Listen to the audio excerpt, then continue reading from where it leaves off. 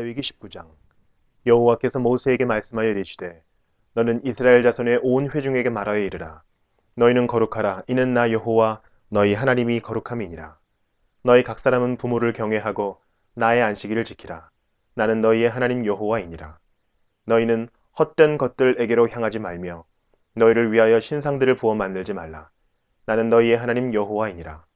너희는 화목 제물을 여호와께 드릴 때에 기쁘게 받으시도록 드리고 그 제물은 드리는 날과 이튿날에 먹고 셋째 날까지 남았거든 불사르라.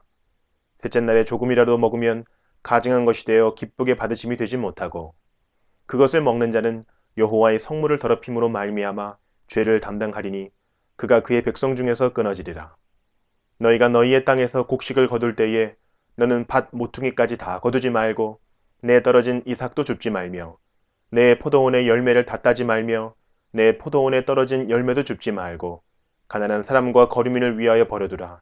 나는 너희의 하나님 여호와이니라. 너희는 도둑질 하지 말며 속이지 말며 서로 거짓말하지 말며 너희는 내 이름으로 거짓 맹세함으로 내 하나님의 이름을 욕되게 하지 말라. 나는 여호와이니라. 너는 내 이웃을 억압하지 말며 착취하지 말며 품꾼의 삭슬 아침까지 밤새도록 내게 두지 말며 너는 귀먹은 자를 저주하지 말며 맹인 앞에 장애물을 놓지 말고 내 하나님을 경외하라. 나는 여호와이니라. 너희는 재판할 때에 불의를 행하지 말며 가난한 자의 편을 들지 말며 세력 있는 자라고 두둔하지 말고 공의로 사람을 재판할지며 너는 내 백성 중에 돌아다니며 사람을 비방하지 말며 내 이웃의 피를 흘려 이익을 도모하지 말라. 나는 여호와이니라. 너는 내 형제를 마음으로 미워하지 말며 내 이웃을 반드시 견책하라. 그러면 내가 그에 대하여 죄를 담당하지 아니하리라. 원수를 갚지 말며 동포를 원망하지 말며 내 이웃 사랑하기를 내 자신과 같이 사랑하라. 나는 여호와이니라. 너희는 내 규례를 지킬지어다. 내 가축을 다른 종류와 교미시키지 말며 내 밭에 두 종자를 섞어 뿌리지 말며 두 재료로 직조한 옷을 입지 말지며 만일 어떤 사람이 다른 사람과 정혼한 여종 곧 아직 송양되거나 해방되지 못한 여인과 동침하여 설정하면 그것은 책망을 받을 일이니라. 그러나 그들은 죽임을 당하지는 아니하리니 그 여인이 해방되지 못하였기 때문이니라. 그 남자는 그 속건제물 곧 속건제 순양을 회막문 여호와께로 끌고 올 것이요 제사장은 그가 범한 죄를 위하여 그 속건제의 순양으로 여호와 앞에 속죄할 것이요 그리하면 그가 범한 죄를 사함 받으리라. 너희가 그 땅에 들어가 각종 과목을 심거든 그 열매는 아직 할례받지 못한 것으로 여기되 곧 3년 동안 너희는 그것을 할례받지 못한 것으로 여겨 먹지 말 것이요 넷째 해에는 그 모든 과실이 거룩하니 여호와께 드려 찬송할 것이며 다섯째 해에는 그 열매를 먹을지니 그리하면 너희에게 그 소산이 풍성하리라. 나는 너희의 하나님 여호와이니라.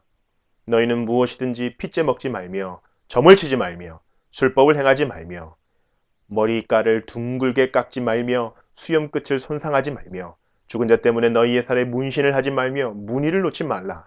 나는 여호와이니라. 내 딸을 더럽혀 창녀가 되게 하지 말라. 음행이 전국에 퍼져 죄악이 가득할까 하노라. 내 안식일을 지키고 내 성소를 귀히 여기라. 나는 여호와이니라. 너희는 신접한 자와 박수를 믿지 말며 그들을 추종하여 스스로 더럽히지 말라. 나는 너희 하나님 여호와이니라. 너는 샘머리 앞에서 일어서고 노인의 얼굴을 공경하며 내 하나님을 경외하라. 나는 여호와이니라. 거류민이 너희의 땅에 거류하여 함께 있거든 너희는 그를 학대하지 말고 너희와 함께 있는 거류민을 너희 중에서 나은 자같이 여기며 자기같이 사랑하라. 너희도 애굽 땅에서 거류민이 되었었느니라. 나는 너희의 하나님 여호와이니라. 너희는 재판할 때나 길이나 무게나 양을 잴 때 불의를 행하지 말고 공평한 저울과 공평한 추와 공평한 에바와 공평한 흰을 사용하라. 나는 너희를 인도하여 애굽 땅에서 나오게 한 너희의 하나님 여호와이니라. 너희는 내 모든 규례와 내 모든 법들을 지켜 행하라. 나는 여호와이니라.